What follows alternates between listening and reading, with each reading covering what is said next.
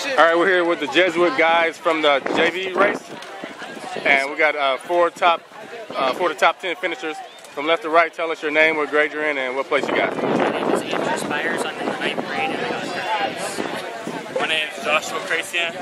I'm in ninth grade and I got fifth place. My name is Alex Mills. Uh, I'm ninth grade. I got sixth place. My name is Will Wotor. I'm ninth grade and I got seventh place.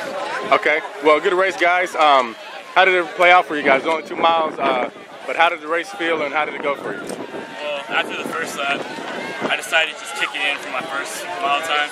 So make a negative split, and that turned out well. I tried to go out hard and finish strong. Okay, and uh, the first mile was, I think, a Woodlands, a couple Woodlands guys and a couple other guys, and then you guys were packed up. Was that kind of the, the race strategy for you guys? Yeah, running packs.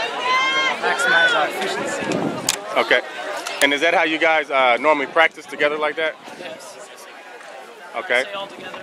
Uh, finish as close together so we can win as a team. Okay. And uh, like you guys mostly just freshmen and underclassmen.